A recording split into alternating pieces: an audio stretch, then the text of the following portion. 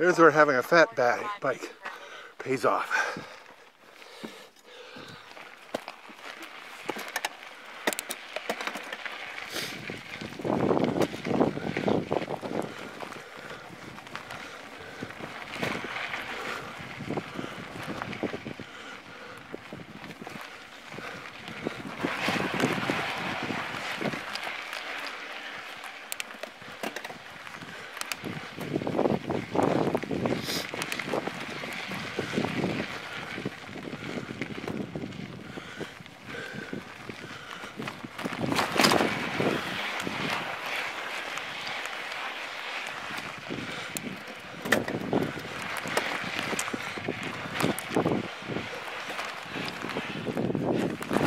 Ha ha.